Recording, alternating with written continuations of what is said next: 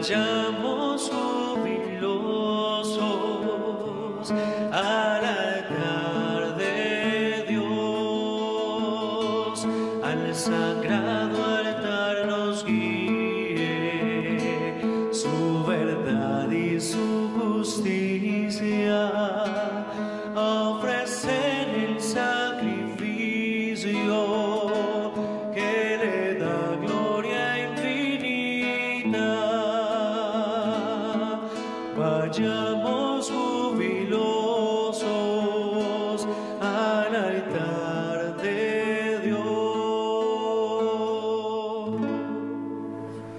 En el nombre del Padre y del Hijo y del Espíritu Santo. Amén. El amor y la paz de Jesucristo resucitado de entre los muertos estén con todos ustedes. Los saludo muy cordialmente en este día, hermanos y hermanas. Bienvenidos a la celebración de la Eucaristía. Nos congrega nuestra fe en el Señor resucitado.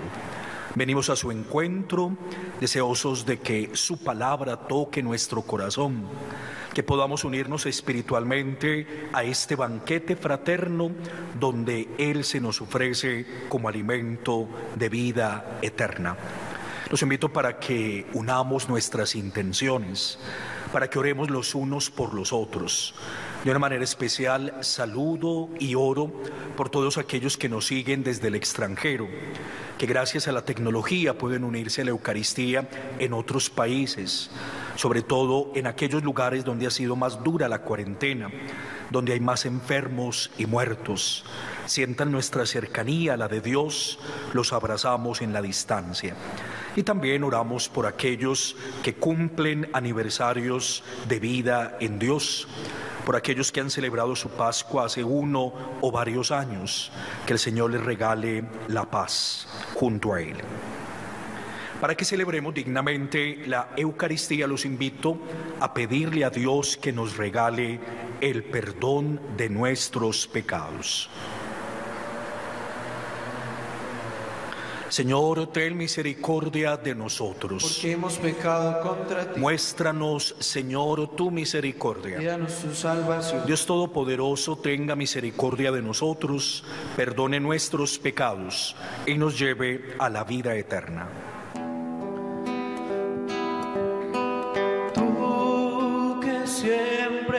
Perdonas,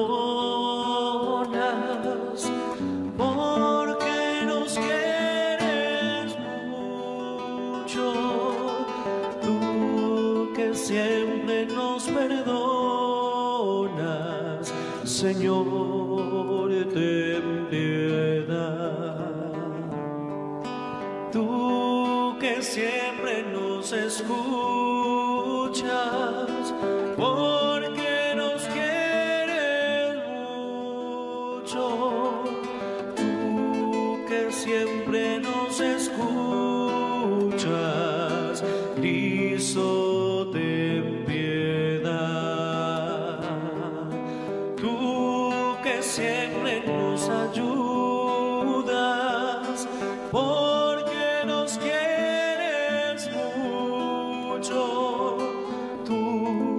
siempre nos ayudas, Señor, ten piedad. Oremos. Oh Dios, que para librarnos del poder del enemigo, quisiste que tu Hijo muriera en la cruz, concédenos alcanzar la gracia de la resurrección. Por nuestro Señor Jesucristo, tu Hijo, quien vive y reina contigo en la unidad del Espíritu Santo y es Dios por los siglos de los siglos. Lectura del libro de los Hechos de los Apóstoles. En aquellos días, un fariseo llamado Gamaliel, doctor de la ley, respetado por todo el pueblo, se levantó en el Sanedrín, mandó a que sacaran un momento a los apóstoles y dijo, Israelitas, piensen bien lo que van a hacer con esos hombres. Hace algún tiempo se levantó Teudas, dándoselas de hombre importante, y se le juntaron unos cuatrocientos hombres. Fue ejecutado, se dispersaron todos sus secuaces y todo acabó en nada. Más tarde, en los días del censo, surgió Judas el Galileo, arrastrando detrás de sí gente de su pueblo. También pereció, y se disgregaron todos sus secuaces. En el caso presente les digo, no se metan con esos hombres, suéltenlos. Si su idea y su actividad son cosa de hombres, se disolverá pero si es cosa de Dios, no lograrán destruirlos y se expondrían a luchar contra Dios. Le dieron la razón y habiendo llamado a los apóstoles, los azotaron. Les prohibieron hablar en nombre de Jesús y los soltaron. Ellos, pues, salieron del Sanedrín contentos de haber merecido aquel ultraje por el nombre. Ningún día dejaban de enseñar en el templo y por las casas, anunciando la buena noticia acerca del Mesías Jesús. Palabra de Dios. Una cosa pido al Señor, habitar en su casa. Una cosa pido al Señor, habitar en su casa. El Señor es mi luz y mi salvación, ¿a quién temeré? El Señor es la defensa de mi vida, ¿quién me hará temblar? Una cosa pido al Señor, eso buscaré habitar en la casa del Señor por los días de mi vida, gozar de la dulzura del Señor contemplando su templo. Espero gozar de la dicha del Señor en el país de la vida. Espera en el Señor, sé valiente, ten ánimo, espera en el Señor.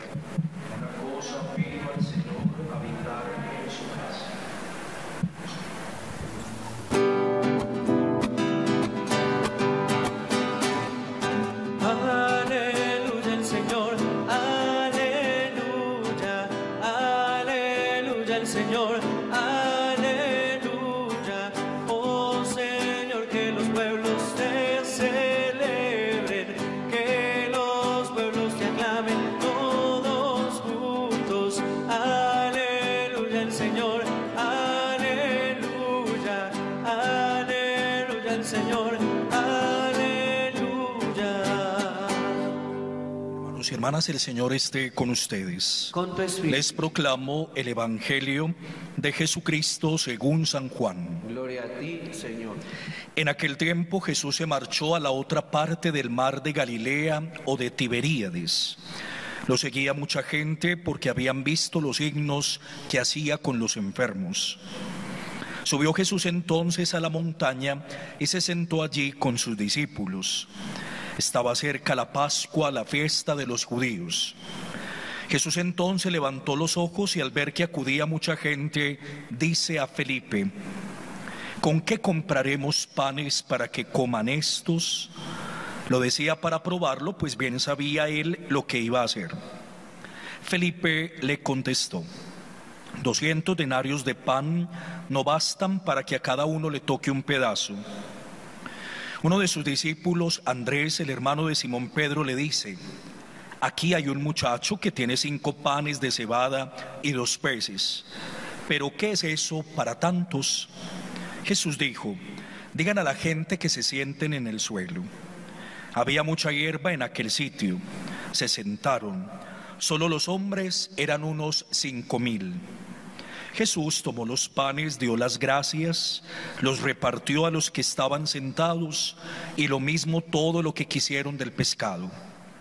Cuando se saciaron, dice a sus discípulos, recojan los pedazos que han sobrado, que nada se pierda.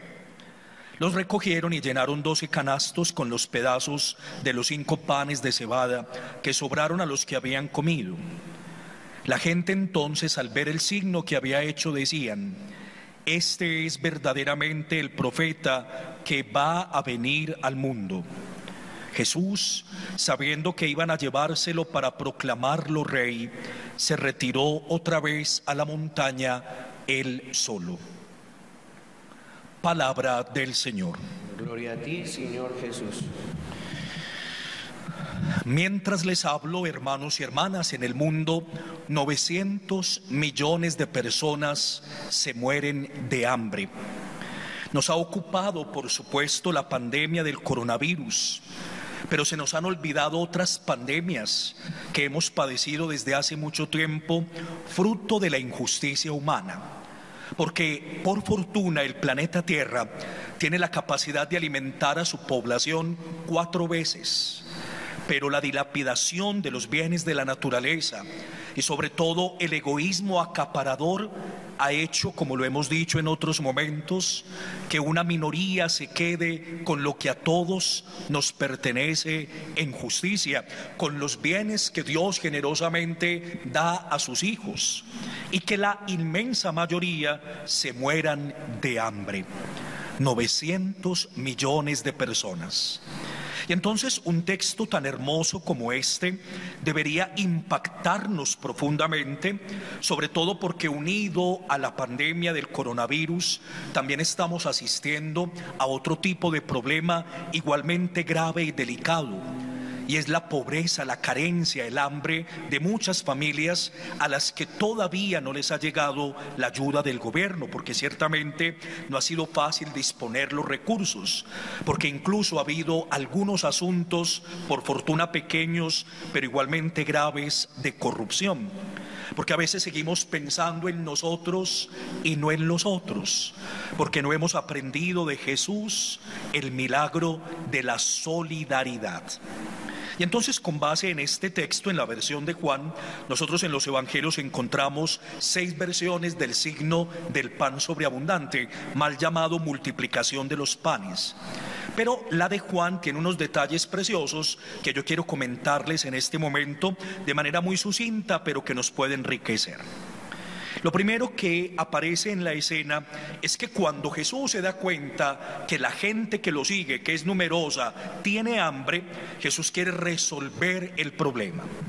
Siempre ha sido más fácil chutarle en esta palabra que utilizamos coloquialmente el problema a otro. Cuando vemos el hambre, la miseria, la necesidad, nosotros decimos que resuelva el Estado, que resuelva la iglesia, que resuelvan las ONGs, que resuelvan los ricos. Siempre pensamos que el asunto es de otro y Jesús nos ayuda a tomar conciencia de que el hambre es un asunto de todos. Denles ustedes de comer. El problema lo tenemos, resolvámoslo entre todos. No despachemos el asunto a otro, apersonémonos de las situaciones porque todos tenemos que ver con ellas, o porque hemos sido cómplices, o porque hemos sido victimarios, o porque al menos en solidaridad tendríamos que sentirnos próximos, cercanos al dolor ajeno. Y entonces luego aparecen las soluciones. Tenemos el problema, hay gente con hambre. ¿Y cuáles son las soluciones? Hay tres en el Evangelio. La primera la encarna Felipe. No bastan 200 denarios de pan para que coma esta gente. Es la idea de creer que todo se resuelve con dinero, de que si tuviéramos plata el mundo sería distinto. ¿Cuánta gente le dice a uno, padre, si me ganara el baloto, le doy esta donación? Padre, si me gano la lotería, hago una casa para los pobres. Padre, si salgo de pobre de manera mágica con una, un sorteo cualquier tipo de cosas, ayudo a los demás. No es el dinero la solución. Y no lo es porque precisamente el dinero es el causante del problema. El dinero ha sido el origen de la injusticia. No se resuelven los problemas con dinero. No podemos tener la mentalidad de Felipe que cree que si tiene dinero suficiente la gente comerá. Ahorita el dinero no funciona para todo. Una persona puede tener millones de millones de pesos en la casa y si tiene pico y cédula, ¿en qué se lo va a gastar? Ahí es cuando uno descubre que definitivamente el dinero es relativo, es importante. Alguna vez escuchaba yo, el dinero como siervo es muy útil, pero como amo es un tirano. Y si el dinero no lo encauzamos desde la justicia, termina siendo el causante de los problemas. El hambre no se resuelve con dinero únicamente, lo ha dicho Jesús. La segunda solución es la de Andrés. Tenemos cinco panes de cebada y dos peces. ¿Qué es esto para tantos? Pensar que es insignificante el aporte del muchacho. Creer que necesitamos soluciones macro, soluciones estructurales, soluciones grandes. No. Aquí ha resolvido más el hambre, la caridad de un vecino con el otro que los aportes millonarios de las grandes empresas de Colombia.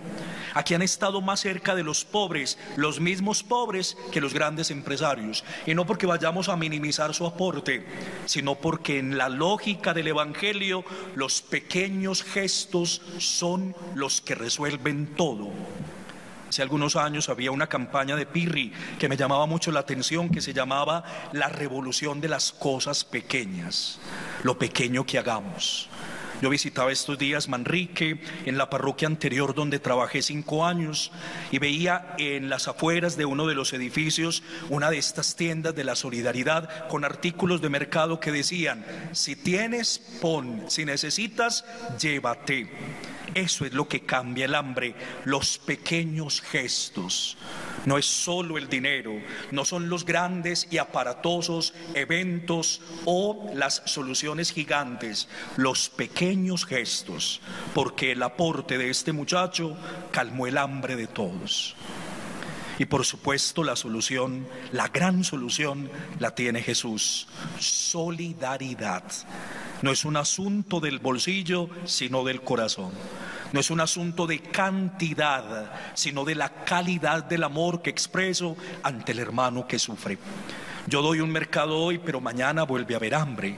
Yo doy dinero hoy, pero mañana necesitan más dinero. La solución es integral, es humanitaria, es de solidaridad que me ponga a disposición del otro, sobre todo si es pobre, para que calmando su hambre en justicia podamos salir todos adelante y todos tenemos mucho para dar porque aunque no todos tengamos dinero, todos tenemos corazón. Como dice hermosamente Mercedes Sosa, he traído, he puesto, yo vengo a ofrecer mi corazón. Qué lección tan bella la que nos da este episodio, el signo, no el milagro, el signo del pan sobreabundante.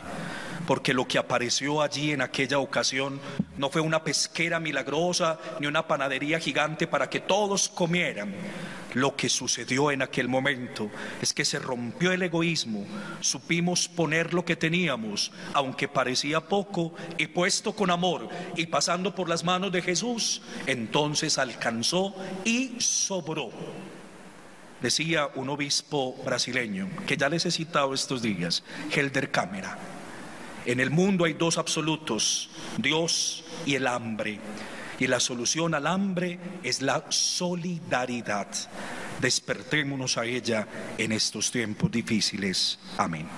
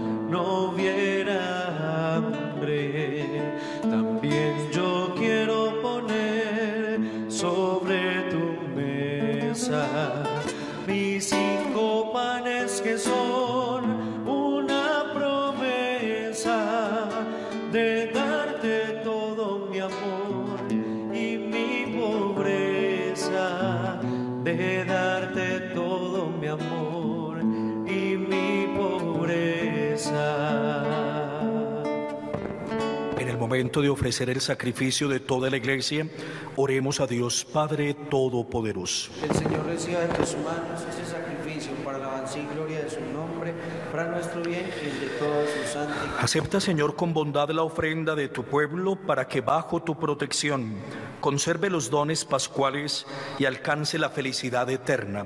Por Jesucristo nuestro Señor. El Señor esté con ustedes. Levantemos el corazón. Lo tenemos levantado hacia el Señor. Demos gracias al Señor nuestro Dios. Es justo y necesario. En verdad es justo y necesario. Es nuestro deber y salvación glorificarte siempre, Señor, pero más que nunca en este tiempo en que Cristo nuestra Pascua ha sido inmolado. Porque Él no cesa de ofrecerse por nosotros, de interceder por todos ante ti. Él inmolado no vuelve a morir y sacrificado vive para siempre. Por eso con esta efusión de gozo pascual, el mundo entero se desborda de alegría y también nosotros unidos a los ángeles y santos cantamos tu gloria diciendo. Santo, santo, santo, dicen los querubines. Santo, santo, santo es nuestro Rey Yahvé. Santo, santo, santo es el que nos redime. Porque mi Dios es santo y la tierra llena de su gloria es. Porque mi Dios es santo y la tierra llena de su gloria es. Cielo y tierra pasarán, mas tus palabras no pasarán. Cielo y tierra pasarán, mas tus palabras no pasarán. No, no, no pasarán, no, no,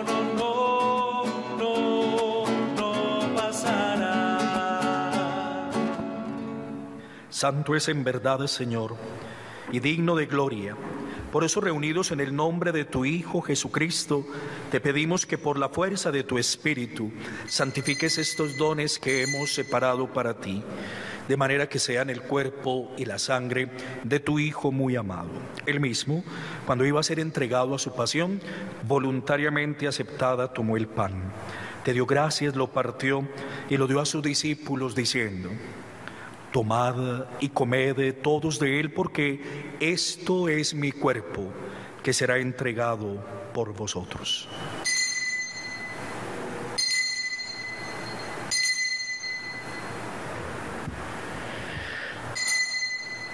Del mismo modo, terminada la cena, tomó el cáliz y dándote gracias de nuevo, lo pasó a sus amigos diciendo, Tomad y bebed todos de él, porque este es el cáliz de mi sangre sangre de la alianza nueva y eterna, que será derramada por vosotros y por muchos para el perdón de los pecados. Haced esto en memoria mía.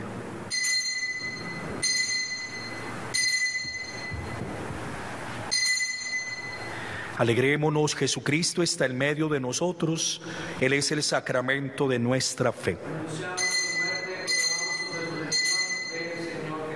Por eso, Padre, al celebrar el memorial de la pasión salvadora de tu Hijo, de su muerte y resurrección, te ofrecemos el pan de la vida y el cáliz de salvación. Y te damos gracias porque nos permite reunirnos en tu presencia. Te pedimos humildemente que el Espíritu Santo congregue en la unidad a cuantos participamos del cuerpo y de la sangre de Cristo. Acuérdate, Padre de la Iglesia, del Papa Francisco, de nuestro Obispo Ricardo y de todos los pastores que cuidamos a tu pueblo, que seamos perfectos en la caridad. Acuérdate también, Señor, de nuestros hermanos que han muerto, también de aquellos cuyo aniversario celebramos hoy, y de todos los difuntos cuya fe solo tú conociste. Ten misericordia de todos nosotros, y así con la Virgen María, Madre de Dios, San José su esposo y todos los santos, vivamos contigo en el cielo, compartiendo la vida eterna y cantando tus alabanzas. Por Cristo, con Él y en Él, a ti Dios Padre misericordioso, en la unidad del Espíritu Santo, todo honor y toda gloria por los siglos de los siglos.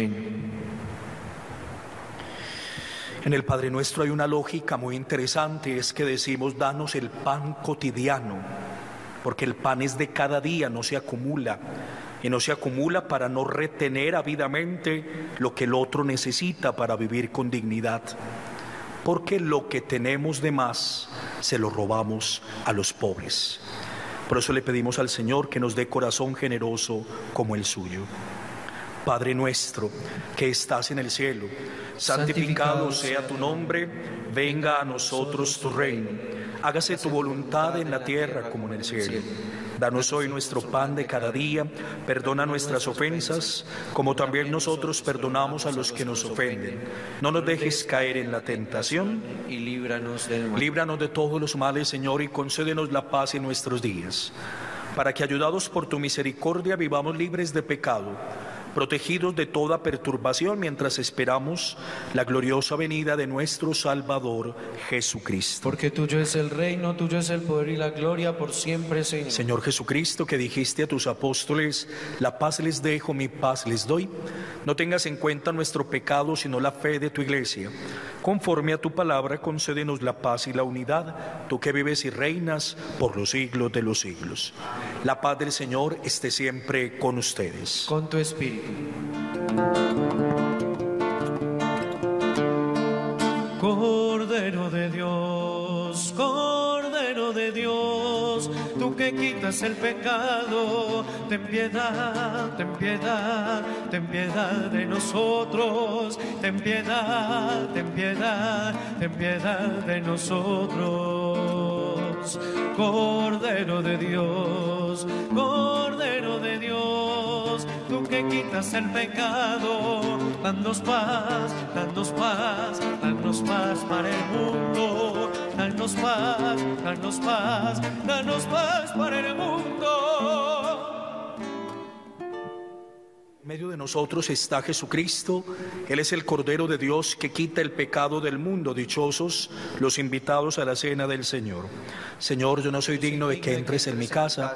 Pero una palabra tuya bastará para sanar. Cristo nuestro Señor fue entregado por nuestros pecados y resucitado para nuestra justificación. Aleluya.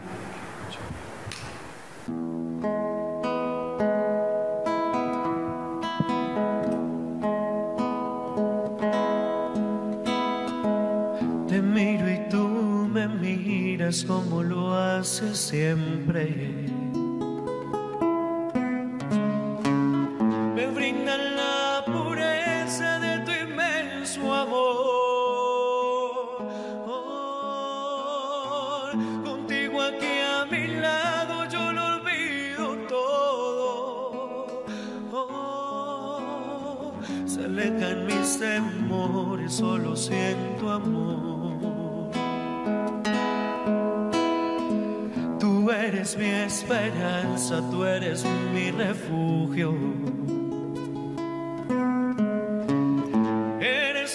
La roca de mi salvación.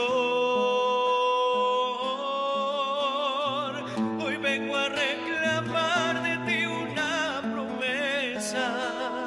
Ah, hoy quiero escucharla de tu dulce voz. Venid a mí los que estáis cansados, venid a mí los que hoy lloráis, venid a mí que ahora sufren, venid a mí los que buscan paz, porque tengo vino nuevo, porque tengo pan de vida, porque tengo vida eterna y te la quiero dar. Venid a mí los que estáis cansados, venid a mí los que hoy lloráis, venid a mí los que ahora sufren, venid a mí los que buscan paz, porque tengo vino nuevo, porque tengo pan de vida,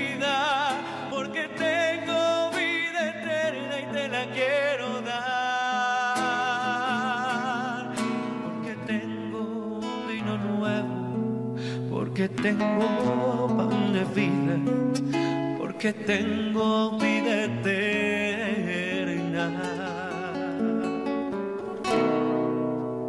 y te la quiero dar.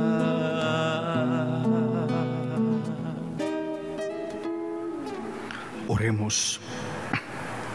Dios misericordioso, no ceses de proteger con amor a quienes has elegido, para que así, quienes hemos sido redimidos por la muerte de tu Hijo, podamos alegrarnos en su resurrección por Jesucristo nuestro Señor. Al final del Evangelio Jesús decía, recojan las sobras, que nada se desperdicie. Revisa tu congelador y tu alacena y mira cuánta comida guardas que luego botarás. Es un pecado social y más en este momento. Si escuchas noticias, has visto extranjeros confinados queriendo regresar a Colombia, comiéndose un pedazo de comida diaria con agua, porque ya no tienen recursos, porque no tienen oportunidades, porque la Cancillería se demora en hacerlos regresar.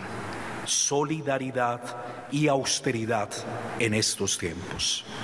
El Señor esté con ustedes. Y con tu espíritu. Y la bendición de Dios misericordioso, Padre, Hijo y Espíritu Santo, descienda sobre ustedes y los acompañe siempre. Pueden permanecer en paz. Demos gracias a Dios.